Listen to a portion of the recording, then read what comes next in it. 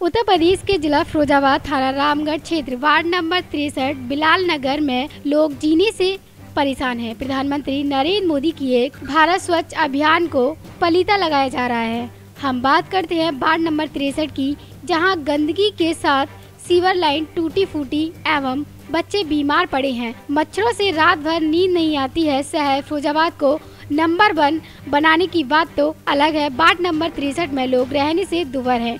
आज तक न ही नालियाँ बनी है, न ही खरंजा। घरों में पानी जा रहा है। आखिर घर का पानी कहाँ जाए? पानी से गलियाँ भरी पड़ी हैं।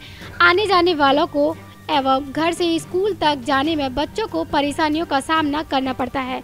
वार्ड नंबर तिरसठ के बासिंदों का कहना है कि यहाँ के पार्षद साजा बेगम पति रिजवान को कई बार शिकायत की मेयर साहिबा नगर निगम के नगर आयुक्त से शिकायत की, मगर इस ओर कतई ध्यान नहीं दिया। जब पार्षद के यहाँ वार्ड नंबर तिरसठ के बासिंदे पहुँचे तो पार्षद जी ने कहा कि कहीं भी जाओ, चाहे मीडिया से लेकर कहीं भी जाओ, जब हमारी कोई आलाधिकारी भी नहीं सुनता तो हम क्या करें? कहीं भी शिकायत करो, वहीं यामीन चमन जमीला बेगम नैनी बेगम रईस पप्पू नाजवीन नाजिम भाई फ़हीम राशिद डोरेलाल आदि मोहल्ले के दर्जनों बासिंदे लोग एवं महिला मौजूद रहीं।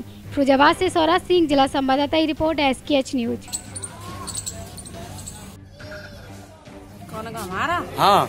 अमीर है। ज़िंदगी भैया कि तो पानी का निकासी नहीं है भर रही है रह रहे हैं गंदगी में लेटरिन निकल रही है गंदगी बीमार पड़ रहे हैं। टैंक में बता क्या करा अच्छा जाए? नालियाँ नहीं है यहाँ? नालिया भालिया कुछ नहीं है। खरंजे वगैरह? खरंजे बन जाता है। और खड़े मुकड़े डरे हैं टूटे मूटे कोई सुनवाई नहीं है। भैया परेशानी रही अच्छा मच्छरों से बच्चों की बीमारियाँ फैल रही हैं हाँ, रही है। बच्चों की बीमारी फैल रही है और मच्छर हो रहे हैं। वहाँ। ये अपनी मनमानी कर रहे हैं पार्षद?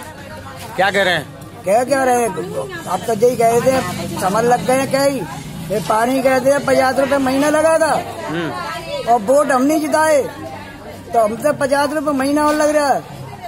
पानी बहुत कर रही समस्या है यहाँ पर। नालिया नहीं है? नालियाँ नहीं है? नाली क्या सफ़ाई होती है तो नाली। तो पानी कहाँ जाता है? पानी कहाँ जाता है नालियों में जाता है पानी और ज़मीन में मरता है।